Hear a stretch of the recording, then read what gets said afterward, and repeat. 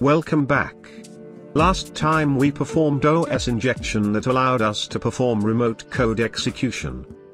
In this video we will learn how to get a remote shell on a remote server. There are two different shells, bind shell and reverse shell. Bind shell is occurred when the attacker connects to the victim. Our learning objective is to understand the difference between bind shell and reverse shell, then we will try to get shell through remote code execution.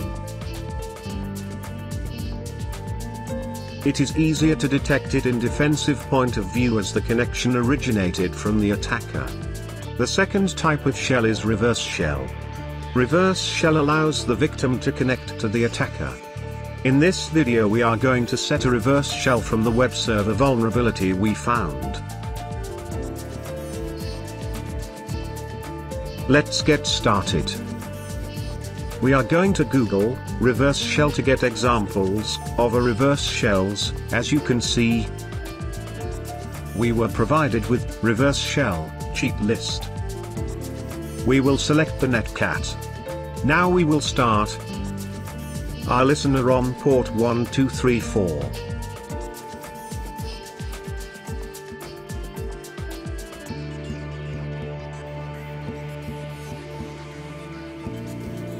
Now let's copy it, and change the IP, to our host.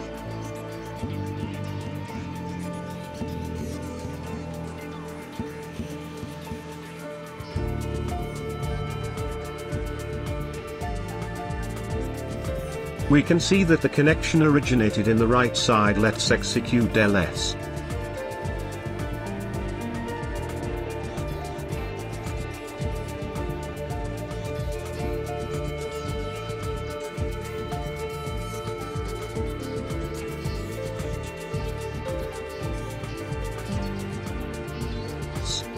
Let's try a different reverse shell.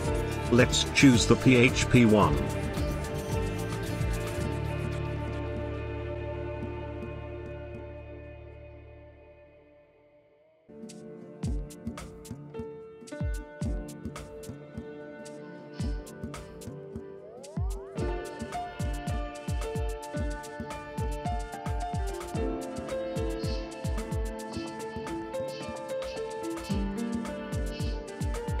And we have shell again.